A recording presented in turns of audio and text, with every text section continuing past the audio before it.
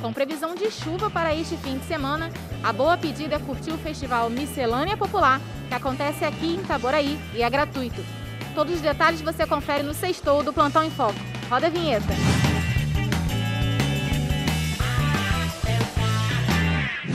As cortinas ainda estão fechadas, mas neste sábado e domingo, a partir das 4 horas da tarde, a criançada poderá curtir espetáculos de teatro, dança, circo e música aqui no Itaboraí Plaza Shopping. O evento seguirá todos os protocolos de segurança contra a Covid-19 e também será transmitido através das redes sociais do evento. O projeto tem como objetivo ampliar o olhar sobre a cultura popular, explorando diversas linguagens artísticas através de uma programação cultural diversificada.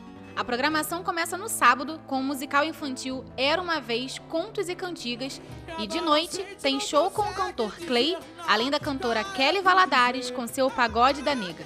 No domingo, é a vez da companhia Circo de La Costa animar a criançada com o espetáculo Clássicos do Circo, seguido de show com a cantora Dediane Almeida e a apresentação do espetáculo Transvive com o Degrau Companhia de Dança. Mesmo com a programação gratuita, o público precisa se cadastrar e retirar os ingressos online através do site da Simpla, que deverá ser apresentado na entrada do evento através de um dispositivo móvel, impresso ou por QR Code. Nas próximas semanas, o festival também vai passar por Niterói e São Gonçalo, com o objetivo de auxiliar na retomada das atividades culturais dessa cidade. Todos os detalhes você confere em nosso site. Esse foi mais um Sextou do Plantão em Foco. Até semana que vem.